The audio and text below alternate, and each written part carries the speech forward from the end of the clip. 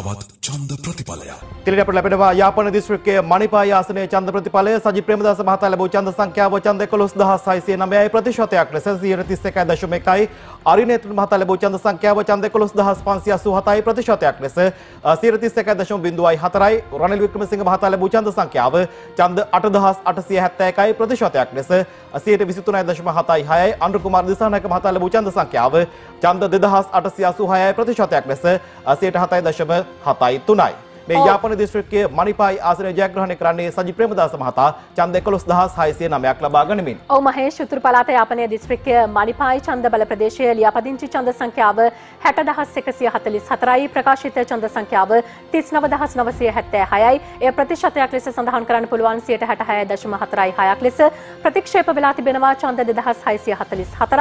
එවැගේම වළංගු ඡන්ද සංඛ්‍යාව විදිහට දැක්වෙනවා ඡන්ද 37330ක්.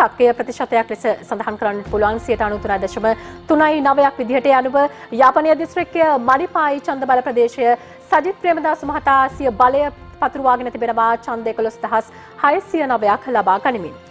අපේ සූදානම් 2019 වර්ෂය සහ 2024 ජනාධිපතිවරණයේ කෙසේ සිදු වී තිබෙනවාද කියන කාරණාව පැහැදිලි කරන්නට 2009 2019 වර්ෂයේදී ජයග්‍රහණය කරන්නේ සජිත් ප්‍රේමදාස මහතා ඡන්ද 31369ක් ලබා ගනිමින් මෙවර ජනාධිපතිවරණයේදී ඡන්ද 11609ක් ලබාගත් සජිත් ප්‍රේමදාස මහතාම ජයග්‍රහණය කරනවා යාපන දිස්ත්‍රික්කයේ මණිපායි ආසනය.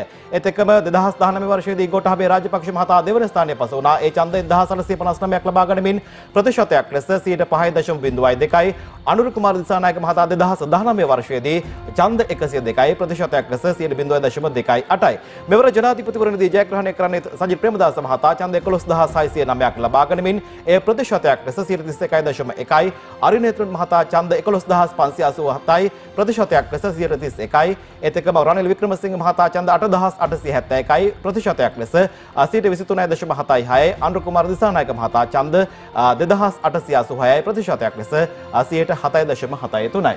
Anytime combo ඔබත් අදම පන්සිය පනස් පහක් රීලෝඩ් කර ඇක්ටිවේට් කරගන්න SLT මොබිටෙල්